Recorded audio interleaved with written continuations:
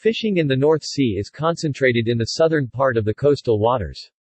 The main method of fishing is trawling. Annual catches grew each year until the 1980s, when a high point of more than 3 million metric tons 3.3 million st was reached. Since then, the numbers have fallen back to around 2.3 million tons 2.5 million st annually with considerable differences between years. Besides the fish caught, it is estimated that 150,000 metric tons 165,000 st of unmarketable by catch are caught and around 85,000 metric tons 94,000 st of dead and injured invertebrates, of the caught fish, about half are used for the production of fish oil and fish meal. History Sturgeon, shad, rays, skates and salmon among other species were common in the North Sea into the 20th century, when numbers declined due to overfishing. Other factors like the introduction of non-indigenous species, industrial and agricultural pollution, trawling and dredging, human-induced eutrophication, construction on coastal breeding and feeding grounds, sand and gravel extraction, offshore construction, and heavy shipping traffic have also contributed to the decline. Various agreements have been made in the course of history. A 15th-century document illustrates shared use, and the London Convention on Fisheries was signed in 1964. The OSPAR Commission manages the OSPAR Convention to counteract the harmful effects of human activity on wildlife in the North Sea, preserve endangered species, and provide environmental protection. All North Sea border states are signatories of the MARPOL 73-78 Accords which preserves the marine environment by preventing pollution from ships. Germany, Denmark, and the Netherlands also have a trilateral agreement for the protection of the Wadden Sea, or mudflats, which run along the coasts of the three countries on the southern edge of the North Sea. At the end of the 19th century large quantities of herring were produced in Scotland. Today mainly mackerel, Atlantic cod, whiting, coalfish, European plaice, and sole are caught.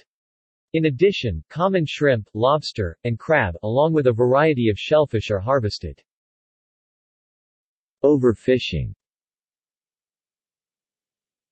In recent decades, overfishing has left many fisheries unproductive, disturbing the marine food chain dynamics and costing jobs in the fishing industry.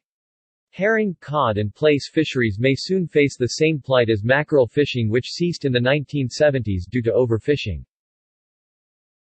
Since the 1960s, various regulations have attempted to protect the stocks of fish such as limited fishing times and limited numbers of fishing boats, among other regulations. However, these rules were never systematically enforced and did not bring much relief. Since then, the United Kingdom and Denmark, two important fishing nations, became members of the EU, and have attempted, with the help of the Common Fisheries Policy, to bring the problem under control. Countries in the EU also have their own policies and laws in an attempt to address the problem of overfishing. The differing policies between countries have been blamed as the cause of tension between fishers, such as the 2012 English Channel scallop fishing dispute. Norway, not a member of the EU, has also reached an agreement with the European Community concerning fishing policy.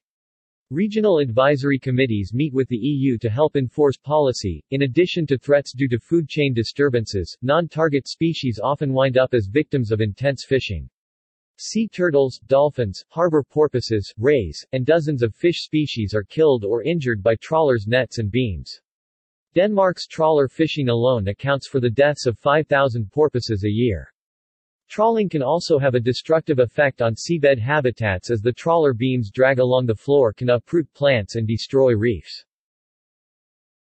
All numbers from the FAO, cited by the University of British Columbia. For the FAO, the region North Sea includes Skagerrak and Kattegat. Notes References Ilyina, P. Ilyina 2007, The Fate of Persistent Organic Pollutants in the North Sea. Springer. ISBN 978-3-540-68162-5 Karlsdóttir, HREFNAM, 2005 Fishing on Common Grounds, The Consequences of Unregulated Fisheries of North Sea Herring in the Post-War Period. ISBN 91-85196-62-2.